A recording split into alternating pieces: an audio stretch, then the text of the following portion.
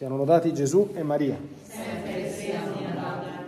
Siamo nella prima settimana di Avvento, tempo in cui, come sappiamo, ci accompagnerà il profeta Isaia e anche abbastanza il Vangelo secondo Luca, che è tra gli evangelisti quello che più degli altri racconta bene gli episodi della infanzia di Gesù. Oggi il brano di Isaia del capitolo 11 è veramente molto bello perché è una delle più belle profezie messianiche della prima parte del testo di Isaia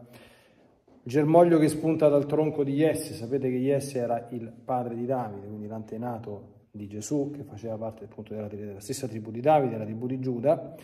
viene profetizzato appunto che su questo germoglio misterioso si, può, si, si posa lo Spirito del Signore con i suoi sette doni, sapienza, intelletto, consiglio, fortezza, scienza, pietà e timore di Dio, e si descrive parte di quella che sarebbe stata la personalità proprio di Gesù, non giudicare secondo le apparenze, non prendere decisioni per sentito dire, percuotere il violento con la verga della sua bocca e uccidere l'empio col soffio delle sue labbra, questa è la potenza della sua parola,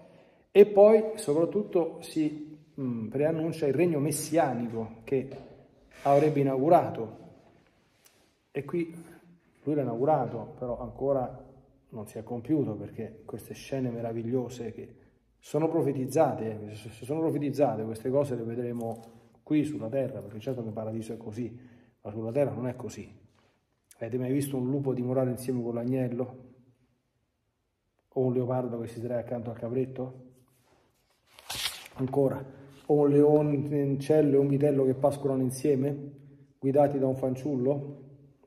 Oppure che la mucca e l'orsa pascolano insieme, o che il leone si ciba di paglia come il bue, si sta vicino a un bue, anziché farsi una bella magnata, di quel bel, eh, si mangia l'erba come, come, come il bue, eppure sta scritto, o addirittura il bambino si trastulla sulla buca della vipera, mette la mano nel covo del serpente velenoso, no? Questo è proprio l'immagine del creato rinnovato al 100%. Ricordate che San Paolo nelle sue lettere dice che la creazione stessa geme e, doglie sotto, geme e soffre sotto le doglie del travaglio del parto perché avverte il riverbero del peccato dell'uomo, cioè quello che l'uomo ha combinato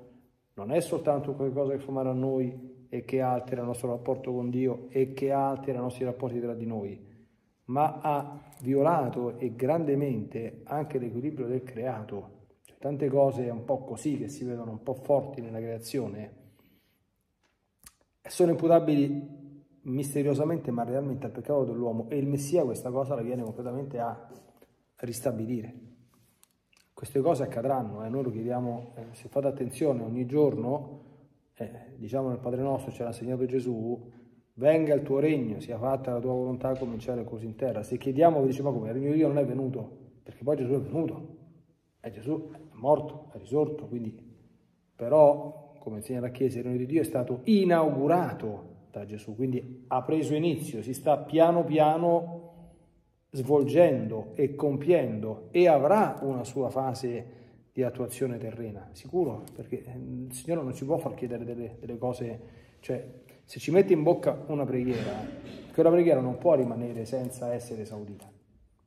Ditemi un po' dove vedete in giro il regno di Dio e queste cose che ha profetizzato Isaia. Non ci sono al momento attuale, non sono mai state. Da 2000 anni fino ad oggi sicuramente ancora non ci stanno. Però sicuramente ci saranno. Ecco perché Gesù nel Vangelo dice, beati i vostri occhi che vedono ciò che voi vedete e le vostre orecchie che odono ciò che voi udite, perché la sua venuta sulla terra è stato l'inizio della nuova creazione. In lui è già perfettamente compiuto, in Gesù risorto è già perfettamente compiuto il piano salvifico di Dio, solo che si deve compiere anche nelle vicende della storia nel suo corpo mistico che, che, la Chiesa e nel creato intero. Quindi questo è uno dei grandi temi della,